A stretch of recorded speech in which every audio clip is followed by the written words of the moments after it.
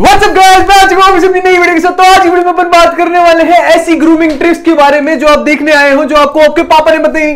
पापा ने नहीं बताई मम्मी ने नहीं बताई दादा ने नहीं बताई उनके दादा ने भी नहीं बताई थी। मतलब उनके दादा ने भी नहीं बताई थी। तो आपका भाई बताने आ चुका है और आपकी छोटी छोटी प्रॉब्लम्स को सॉल्व करने आ चुका तो कर, नहीं करे बकवास? तो चलो वीडियो की तरफ़। तो सबसे पहली ट्रिक होने वाली है ब्लैकेट्स के बारे में। यार ब्लैकेट्स निकल ही नहीं पता है नहीं निकलेंगे।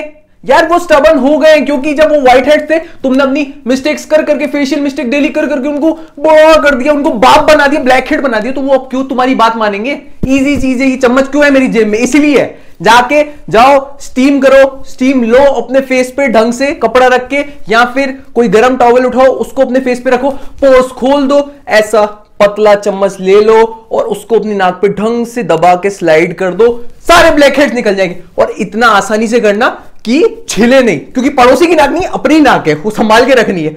समझ जाओ समझ जाओ।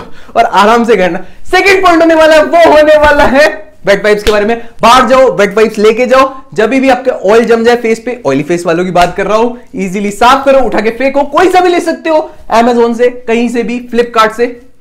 यहाँ पे मैंने आपको फ़ोटो दे दी है। ट्रिक होने वाली है, आपको मॉइस्चराइजेशन करके पोर्स को बंद कर देना है। जब भी आप मुँह धो के आते हो हॉट वाटर से, या फिर आप क्लेंजिंग करते हो तो आपके पोर्स खुल जाते हैं और आपकी स्किन फ्रेजाइल स्टेट में चली जाती है। भले आपका कोई सा भी स्किन टाइप हो ऑयली ड्राई या कॉम्बिनेशन इसीलिए आपको मॉइस्चराइजेशन करना ज़रूरी है, क्योंकि उसके अंदर पूरे पोर्स खाली है। कोई भी घुस सकता है बैक्टीरिया घुस गया तो एक्ने हो जाएगा। इससे बेस्ट मॉइस्चराइजेशन मॉइस्चराइजर लगाओ और अपने पोर्स को बंद कर दो, ताकि अच्छा इफ़ेक्ट भी मिले। पोर्स में सही चीज़ एब्जॉर्ब होनी चाहिए। गंदे बैक्टीरिया नहीं नेस्टी नेस्टी गंदे। जो फोर्थ पॉइंट होने वाला है बोलने वाला है। आप बियर को एज अ कंडीशनर यूज़ कर सकते हो। इसको। अब आप समझ सकते हो कि मैं क्या बोल रहा हूँ, ये पागल हो गया अब गधा हो गया लेकिन ऐसा होता है, बहुत सारे एक्टर्स ने अपनी होम रेमेडी में बताया है कि वो beer as a conditioner use करते हैं, क्योंकि इसमें बार्ले और हॉप्स होता है। हॉप्स में क्या होता है? सिलिका सिलिका क्या करता है? हेयर को स्ट्रेंथन करता है और बहुत सारे ऐसे एसिड्स होते हैं। एसिड्स होते हैं जो हेयर में वॉल्यूम और शाइन प्रोवाइड करते हैं। तो और क्या चाहिए? कंडीशनर स्किप करो बियर लगाना चालू करो। और फिर पॉइंट होने वाला है, वो होने वाला है आपके स्टबन नाखून। जिन लोगों के नाखून बहुत मोटे हैं और जब वो काटते हैं नील कटर से और उनके लग जाती है और मतलब बहुत ज़्यादा पेन होता है पिंच होता है तो आप क्या करो? इजीली जब भी नाखून काटने, पाँच मिनट पहले गर्म पानी में पैर डुबा के रख लो। नाखून सॉफ्ट हो जाएँगे, काटो, फेंको, खेल खत्म। जो सिक्स पॉइंट होने वाला है, वो होने वाला है। आपको अपने लिप्स को एक्सपोलिएट करना है। वो भी कैसे? ब्रश से और पेस्ट लगा के। पेस्ट में काफ़ी क्लेंजिंग इंग्रेडिएंट्स होते हैं सरफेक्टेंट्स होते हैं, जिससे एक्सपोलिएशन बहुत अच्छा हो जाएगा। लिप्स एकदम सॉफ्ट हो जाएँगे और आपकी क्लश को लगेगा। कि वो खरखरे पत्थर को नहीं कुदकुदे गद्दे को पप्पी दे रही है। मज़ा आ जाएगा। सेवन तो लास्ट पॉइंट होने वाला है, वो होने वाला है, आप अपने पिंपल्स को एक दिन में हटा सकते हो।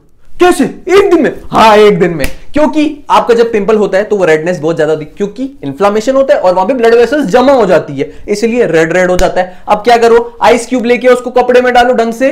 हफ़्ते में, ओ, हफ़्ते में नहीं, एक दिन में दो से तीन बार सेक करो, एक एक मिनट के लिए, ताकि वो ब्लड वेसल्स बैठ जाए पिंपल की अपीयरेंस कम हो जाए रेडनेस कम हो जाए इजीली अब आपको हटाना है तो क्या करोगे? अपने प्यारे दोस्त कांग्या कांग्या, मेरे दोस्त, अपने पहले नींबू की मदद ले लेना। नींबू से आपको क्या करना है? स्पॉट ट्रीटमेंट करना है। लेकिन पैच टेस्ट करके देख लेना, आपको ज़्यादा प्रॉब्लम तो नहीं हो रही इरिटेशन तो नहीं हो रही, उन्हीं को खाली यूज़ करना है सेंसिटिव स्किन वालों को बिल्कुल भी यूज़ नहीं करना, उसको उठा के फेंक देना समझो? ठीक है? स्पॉट ट्रीटमेंट करो ढंग से। इसमें एंटी इंफ्लामेटरी फैक्टर्स होते हैं और इसमें सिट्रिक एसिड होता है जो एएचए की तरह काम करता है और एक्सफोलिएटर होता है बहुत अच्छा। वो क्या करेगा? ढंग से पिंपल्स को हटा देगा स्किन भी इवन कर देगा पिंपल्स को ढंग से हटा देगा। तो bye take care see you next time